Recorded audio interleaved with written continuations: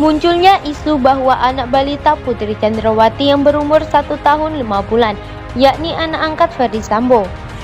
Putri Chandrawati saat ini masih menjadi dakwaan atas pembunuhan Brigadir C. Namun ia tidak ditahan dengan alasan masih memiliki anak balita. Putri Chandrawati sangat mendapatkan keistimewaan, tidak ditahan karena ia mempunyai balita dan kondisi kesehatannya kurang stabil. Warganet sangat penasaran dengan balita tersebut. Benarkah anak Ferdi Sambo dan Putri Chandrawati?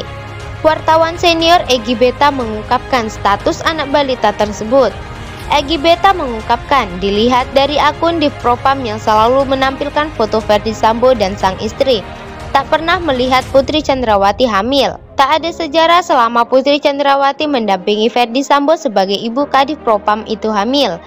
Ungkap Egi Beta. Kasus pembunuhan Brigadir Yosua terus bergulir dan munculnya isu-isu yang tak terduga. Isu perselingkuhan antara Putri Chandrawati dengan Kuat Ma'ruf. Kini bukti perselingkuhan Putri Chandrawati dan Kuat Ma'ruf sangat dianggap bagi masyarakat menjadi pemicu terbunuhnya Brigadir J yang lebih masuk akal. Sebelumnya Brigadir J melihat Putri Chandrawati dan Kuat Ma'ruf sedang melakukan hal yang tidak pantas di Magelang, Jawa Tengah. Putri Chandrawati dan Kuat Ma'ruf takut ketahuan.